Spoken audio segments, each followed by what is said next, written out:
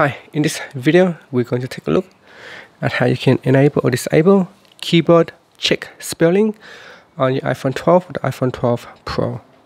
First let's go back to your home screen by swiping up at the bottom of the screen. Then we're going to tap on settings. In settings you want to go down and tap on general.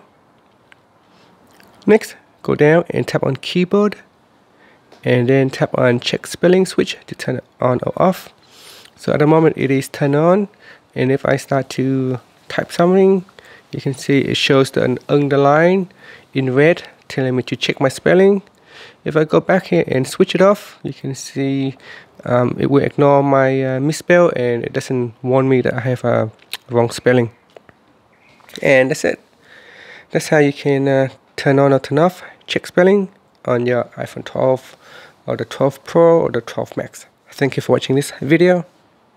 Please subscribe to my channel for more videos.